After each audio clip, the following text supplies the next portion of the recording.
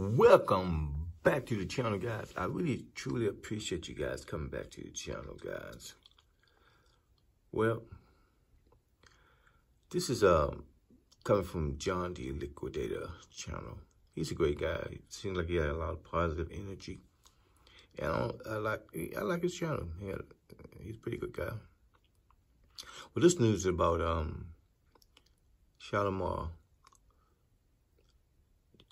entering into the transport portal. This is more like an update from the last video I made about the um, topic.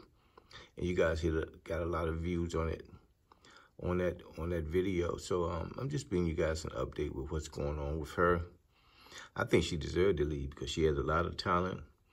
And I think they, I think the coach kind of like sitting there on the bench um, because maybe a little jealousy going on there, but um, she's she has talent and she should be playing on somebody's team. I appreciate you guys hitting that like. I appreciate you guys leaving me some donations. I appreciate you guys leaving vulgar language-free comments.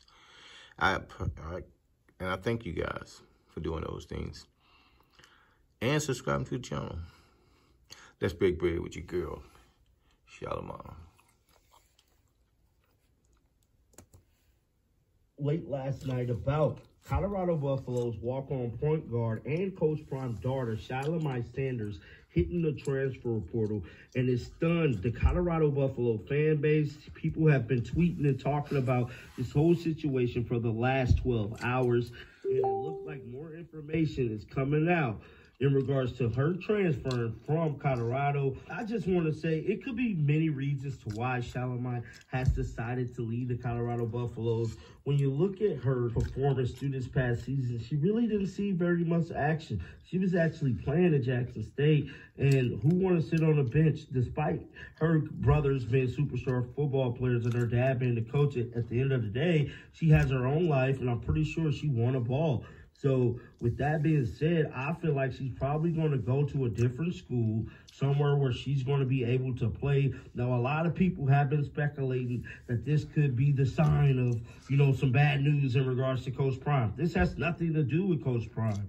This is all about Shelomi worrying about her future. And I'm pretty sure she had talks with her family before any of this news even broke late last night. They probably been talking about it throughout the season, her potentially transferring. Now, I'm not saying like this is fact, but if you was in her case, I'm pretty sure you would let your family know, hey, I'm to decide to leave, so on and so forth. Now, nobody from the Sanders family has said anything in regards to Shelomi leaving as of yet, but it's being reported that Shelomi Sanders has decided to take her talents elsewhere. The youngest daughter of Deion Sanders has hit the transfer portal after just one season at Colorado, according to the Daily Camera.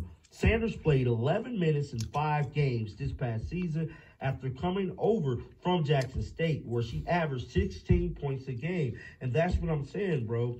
She actually played at Jackson State. She's seen playing time minutes, good quality minutes, bro. Why would you want to stay somewhere and sit on a bench? I just got to keep it 100. She was named first team All District for District 10 6A in Texas as a senior at Rockwall Heath High School in 2022. So as of right now, no one knows exactly where Shelomi Sanders will end up. She could potentially, more than likely, stay in Colorado, maybe go to like a Division two school, a community college. We don't know where she might go. But one thing I can tell you, wherever she goes, she gonna play, bro. Why would you want to stay somewhere?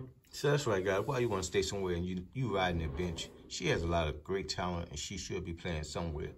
So I'm happy for her and I think she's gonna do a great job wherever she land up. With that said, I'm done breaking bread.